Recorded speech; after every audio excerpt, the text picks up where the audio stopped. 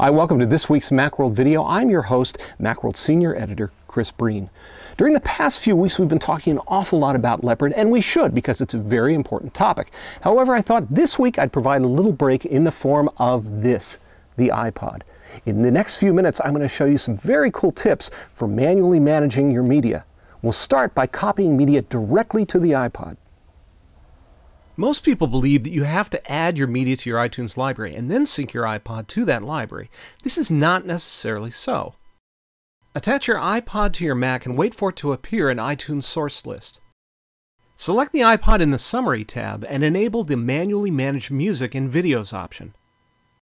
Then click Apply. Now locate some iPod compatible media that you'd like to move to the iPod, music or video files that you've burned to a DVD for example and simply drag them to the iPod's icon in the source list. They'll be copied without being added to the iTunes library. This is very useful for those who don't have the hard drive capacity to store all the media they'd ultimately like to put on their iPods. Ah, but check this out. When you move video that you haven't purchased from the iTunes store to the iPod in this way, iTunes treats it like a movie and adds it to the movies playlist rather than TV shows or music video, for example. To change this, simply select the video, press Command-I to bring up the info window. Click the Video tab.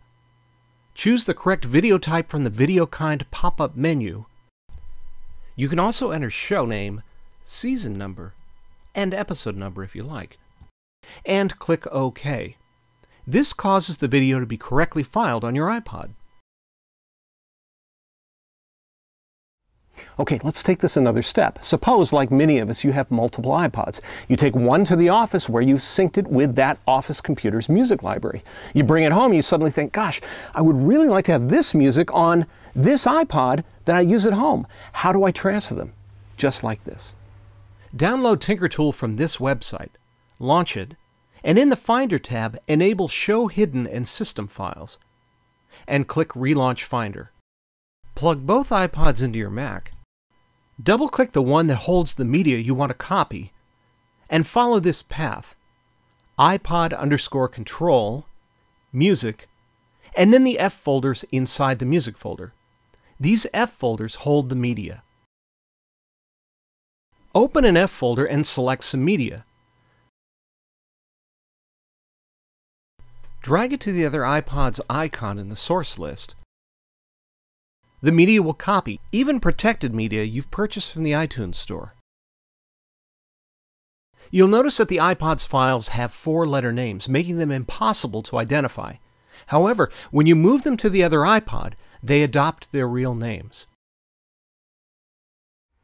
And here's one final trick for those of you who've taken your iPod and your laptop on the road.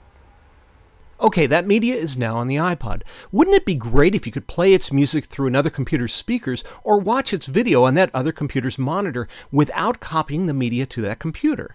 Well, you can. With the iPod in manual mode, attach it to another computer and wait for it to appear in iTunes source list. Select a chunk of media, a movie for example, and click iTunes Play button. The media will play from the iPod through the computer. This is a very useful technique for when you're on the road with your laptop and prefer to view video at a larger size than is offered by your iPod. And there you have it, three handy tips for an iPod in manual mode. I hope you found them helpful. For more information on all things iPod and iTunes, check out playlistmag.com as well as, of course, macworld.com. Thanks for joining me. I'll see you around.